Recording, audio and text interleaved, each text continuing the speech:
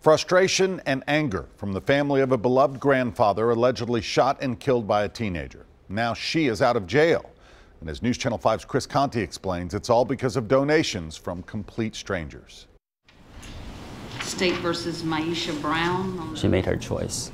If choice was at all still a part of the equation, then surely none of these people would have been inside courtroom 6D in Nashville today. Are you ready and willing to be the bond company for Myeisha Brown? If Myeisha Brown looks like a teenager, that's because she is. She's 17 years old.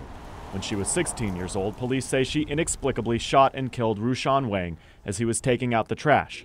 Since then, Myeisha has remained behind bars on a $100,000 bond. We didn't just put this out there um, to people that we didn't know. That was, though, until today. Everybody that I know on here for my for my national network have jobs. When before a judge, three different witnesses explained how over the last few months they've crowdsourced the $10,000 needed for Myeisha to bond out. Do you put the GoFundMe page just out to the general public or do you target individuals that you think might be donors? The judge eventually determined the money didn't appear to come from an illegal source.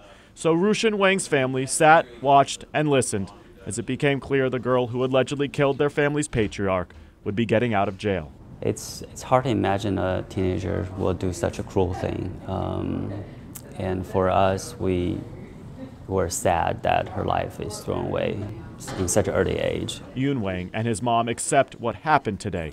They're just worried that given Myeisha's criminal past, she might reoffend. We uh, truly believe she poses danger to the community. But in a case where choice was long removed from the equation, this is now the path they're all on. We can only hope that other people don't follow her path. Chris Conte, News Channel 5. Myeisha Brown has been ordered to wear a GPS monitoring bracelet, and she cannot leave the state of Tennessee while out on bond.